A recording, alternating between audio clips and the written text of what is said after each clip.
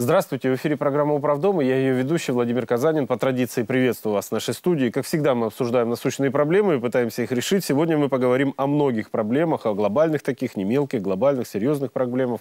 Сегодня у нас в студии Юрий Николаевич Федотов, депутат городского совета, эксперт и человек, который постоянно занимается проблемами. Вот этими самыми проблемами, которые интересуют жителей города Омска. И давайте посмотрим. Первый материал – это Рябиновка, куда выезжала и комиссия Общенародного фронта, Общенародного российского фронта. И наша программа уже об этом много раз рассказывала. Давайте посмотрим материал и начнем обсуждение. Вот одна шахта идет, это газоход с котлов. Ну, они вроде как а сказали, вот что Здесь они неправильно установили каналы, вот эти шахты вентиляционные. Плесень на стенах, сырость в комнатах. Жильцы трехэтажки микрорайона Рябиновка жалуются рабочей группе Общероссийского народного фронта на экстремальные условия жизни в новых квартирах. На месте специалисты определяют, все дело в инженерной ошибке при строительстве вентиляционных шахт. Они не рассчитаны для нормальной подачи свежего воздуха в квартиры жильцов. Проветриваем и тут же, получается, и простужаемся. Одна комната квартира, из-за этого еще и простужаемся. И опять вот, и не знаешь, как вот выкручиваться. Мы только и болеем. Только лечимся, болеем уже на лекарства вот эти. Вот сейчас вот опять малая заболела.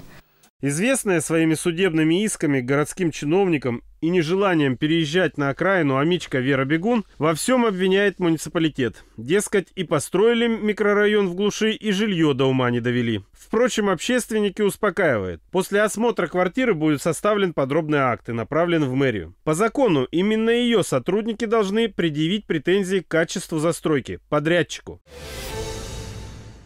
Ну, это проблема этих микрорайонов. И в Рябиновке я на Завертяева тоже снимал, 21 Амурская, 59, 69. Несмотря на то, что там лучше сделано, но тем не менее там тоже вот эти все недочеты присутствуют. Ну, самая главная э, проблема в Рябиновке, вот э, если там всякие мелкие недоделки и недовольство людей, как бы считать, что это могут быть какие-то там качества ремонта, качество работы и так далее, то вот самая серьезная проблема – это так называемая проблема прокидывания вентиляции. То есть из-за того, что вентиляция не работает, ну, скорее всего, это ошибка в проектировании, то из-за этого происходит, то есть накапливается влага, отсыревает, промерзает вентиляционный канал. То же самое на 21-й Амурской. И э, из-за этого происходит, соответственно, промерзание, появляется плесень, грибок и так далее. Заболевания легких и все остальное. Здесь все, что сопутствующее, может быть. Кто аллергик или астматик, сразу идет обострение, проблемы. Э, важным моментом что является? Первое, видимо, при проектировании не было учтено, что дом отапливается не централизованно, а именно каждая квартира за счет газа.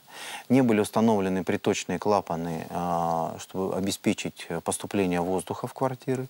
При стеклопакетах понятно, что все глухо закрывается, все, что готовят в доме, принимают душ, там э, люди просто находятся, дышат и так далее. То есть, соответственно, из-за этого возникает накопление влаги. А, и нет движения вентиляции естественной. И, соответственно, это все не удаляется. А, а наоборот поступает холодный воздух. Идет промерзание, намерзание и э, плесень, соответственно. Грибок, плесень, да. все остальное. Поэтому первый шаг, который уже вот устанавливает застройщик, в частности управляющая компания, там, я так понимаю, на средства застройщика, это установка приточных клапанов. То есть это обязательно надо сделать.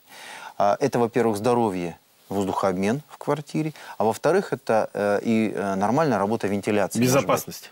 Как минимум нормальная работа вентиляции. Может быть, э, ну надо отдать должное, что застройщик э, до нашего еще визита стал устанавливать клапаны и стал, э, заказал э, автодорожному институту работу именно по решению вот этой проблемы, что нужно принять, системное какое решение проектное, чтобы устранить вот эту вот недоделку или это проектную ошибку. Может быть, там будет э, принято решение принудительную вентиляцию установить, то есть, попросту говоря, вентилятор внизу и обеспечить эту тягу или наверху, или как-то э, сузить канал, чтобы сочетание было диаметра и высоты этой вентиляции, ну, чтобы была тяга. Но пока это вот не будет решена, эта проблема, у всех будут постоянно жалобы. Это вот самая такая системная, на мой взгляд, проблема. И ее нужно также системно решать. А почему, кстати, в нормальных домах, которые строят на продажу, просто коммерческих, ну, очень редко такое присутствует? Отработанный проект. Здесь вот как раз э, вопрос был, э, с чего начиналось это место и малоэтажное строительство. То есть у нас вот такие малоэтажные дома, проекты не были отработаны, потому что и плюс отопление э, квартир за счет газовых котлов, которые в квартирах установлены. Часто люди думают, что они экономят и э, не открывают окно на проветривание, ну, там, скажем, частично. Угу. А, против бывают установки клапанов приточных. Это, безусловно, не нужно делать. То есть нужно однозначно поставить клапаны. Поставить обязательно. А, потому что все равно отопление, отопление на газе квартиры намного дешевле, чем центральное отопление. Конечно. Это надо просто погоду посчитать. Не считать там каждый месяц, а погоду все затраты. И каждый собственник квартиры увидит, что он экономит серьезно.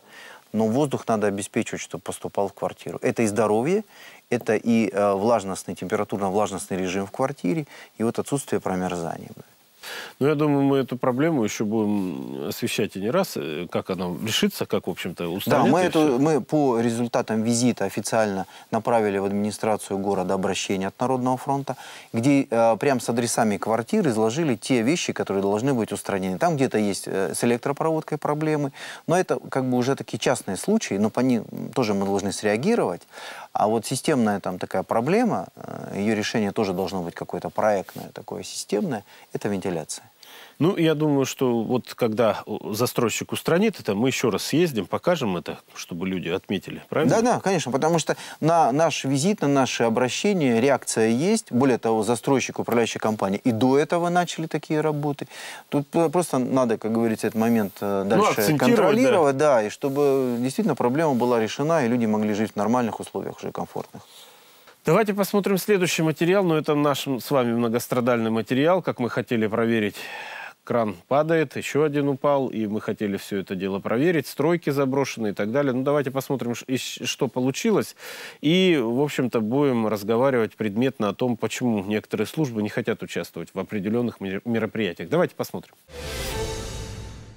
Рейд Общенародного фронта по брошенным стройкам. Мы в своей программе рассказывали об этом объекте. Прошло полгода, ничего не изменилось. Лишь упавший забор с фасадной стороны стройки заколочен наглухо. Хотя это не мешает посторонним проникать на этот заброшенный участок.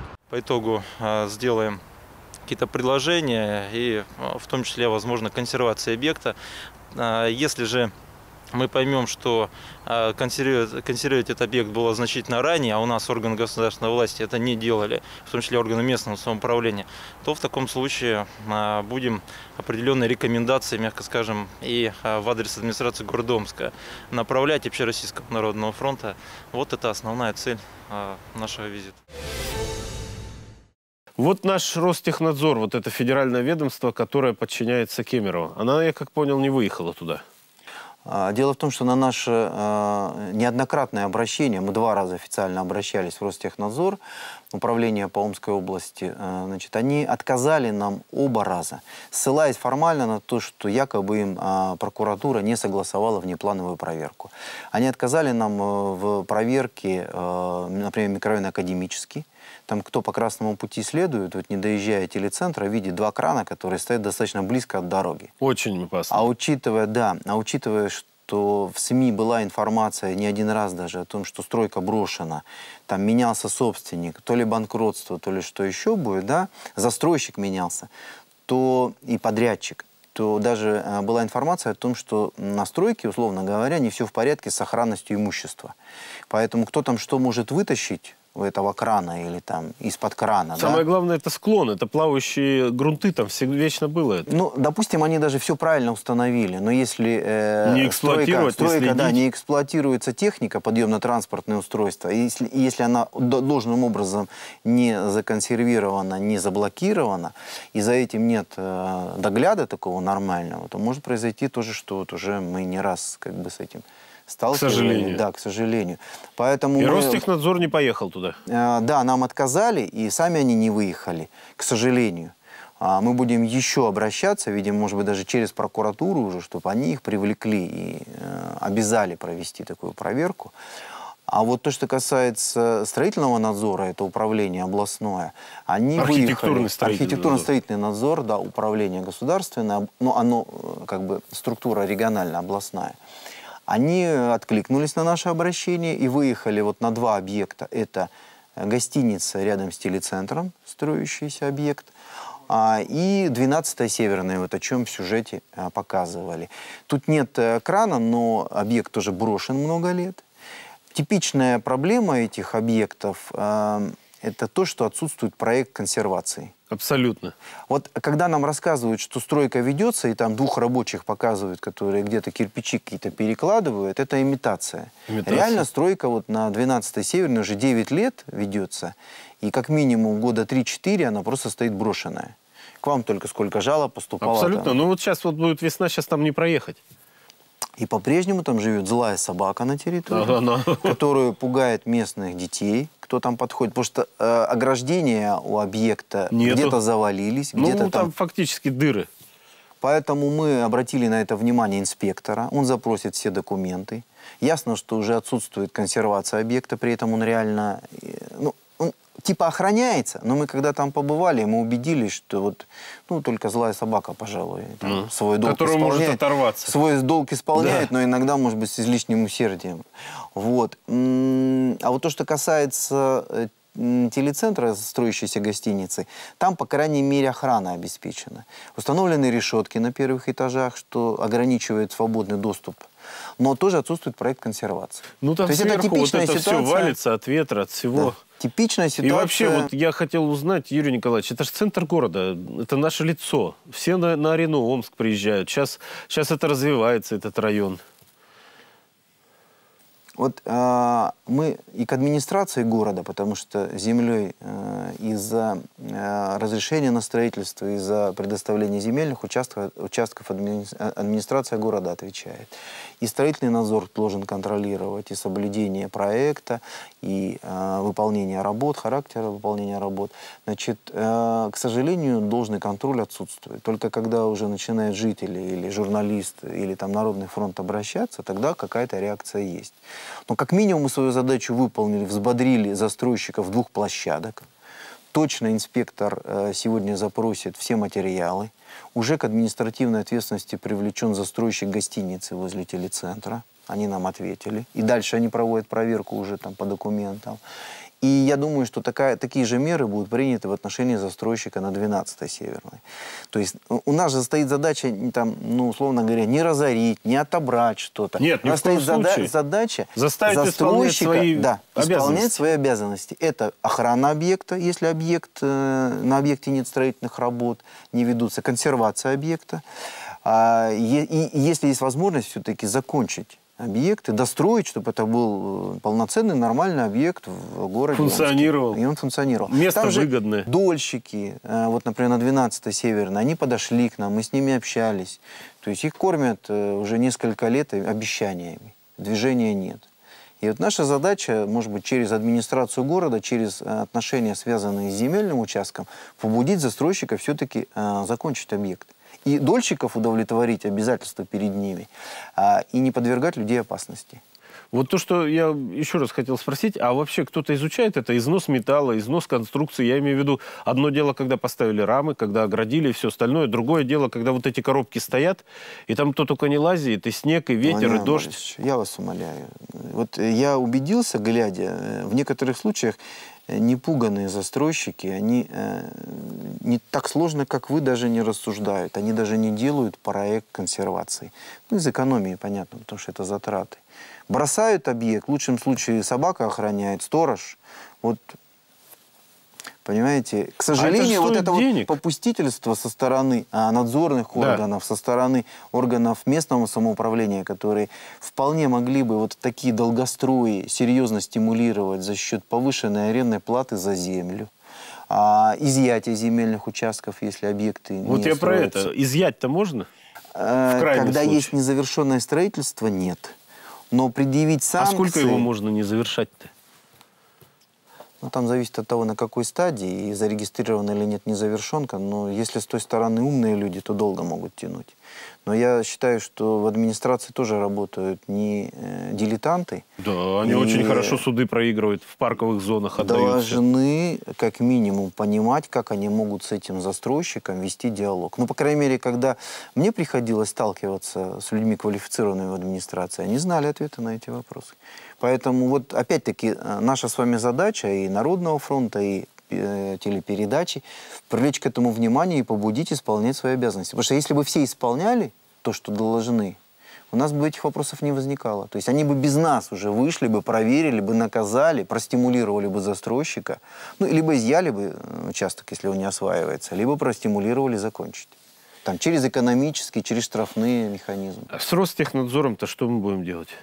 А, как ну, я думаю, что работать? если... э, вот У них наша- начальство в Кемерове, они нашу программу не смотрят. Вот вас- если обращение, если обращение э, через прокуратуру не возымеет действия, я думаю, что надо будет обращаться уже к федеральному руководству, потому что вот то, что они... Причем так серьезно, с поездкой. А, потому что они федеральные, подчас им дает возможность не реагировать на местные проблемы, Абсолютно. местные нужды. Вот это, к сожалению, вот излишняя как бы федерализация, что ли, понятно, и они, э, ну, условно говоря, некая вертикаль. Федерализация неправильный термин, но и вот эта вот вертикаль, когда они федералы, и они с местными не должны тут как-то Они, получается, коррумпированно от местных не зависят, но как-то вот так получается, что со строителями-то как раз вот с теми, кого надо контролировать, как-то вот у них такие отношения, что на стройку не попадешь. Нет, понимаете, просто Омск далеко от Москвы. И, Безусловно, тот человек, кто в Москве руководит, он никогда не будет знать обстановку на месте. Вот раньше, э, в партийные времена, здесь было жестко. То есть бюро обкома, независимо от того, федеральная структура, любая, она, они принимали когда решение, и тем более обращались к федеральному руководству, если местное, не, местное всегда реагировало. То есть я вот не помню таких случаев, чтобы было игнорирование. Поэтому я думаю, что э, мы попробуем сначала на местном уровне все-таки обратиться и в прокуратуру, чтобы они их каким-то образом понудили провести проверки. Что не дай бог нам иметь такие же ситуации, как было Да я про ту вот и хочу на спросить, Жукова. сколько кранов-то еще должно да, упасть? на а, галерке там и так далее. Кранов наших. Сколько должно упасть, чтобы, чтобы это все закончилось? Хотя это все обычные должностные обязанности, которые люди каждый день должны исполнять. Ну, я думаю, мы к этому еще вернемся. И не раз. У нас время программы на сегодня ограничено. Я хочу бл- поблагодарить Юрия Николаевича Федотова за участие в нашей программе, эксперта нашего, депутата городского совета, человека, который занимается проблемами города. И, в общем-то, мы очень часто решаем эти самые проблемы. Но бывает очень тяжело. Я вот думаю, что будем, мы не быстро будем бороться с этими самыми федеральными ведомствами. К сожалению, но будем прилагать для этого усилия. А на этом сегодня программа «Управдом» закончена. Всего доброго и до встречи. К нам обратились жильцы дома по улице Свободы 45 с просьбой помочь найти управу на тех, кто виноват в вандальном состоянии лифтов в их доме. Лифт – это общее имущество всех жильцов многоквартирного дома. Понятно, что кроме хорошего технического состояния, важно поддерживать в нем элементарный порядок.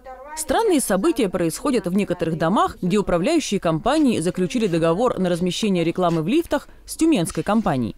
Загнутые рамы, ободранный пластик – это еще самое безобидное, что можно встретить в некоторых лифтах. Здесь, в этом доме, сорвано вообще все. Остались только огромные дыры на панели лифта. И это при том, что компания заявляет размещение в этом доме в своей адресной программе. Затем, чтобы все содержать в нормальном состоянии, никто и не следит. Понятно, что это дополнительные расходы на персонал для компании, дела у которой и так, мягко говоря, идут не блестяще. В абсолютном большинстве случаев договор тюменская компания AMD Group, бывшее Урало-Сибирское рекламное агентство, заключала с управляющими компаниями, некоторые из которых уже и не знают, как получить деньги за аренду рекламного места и как отчитаться перед жильцами.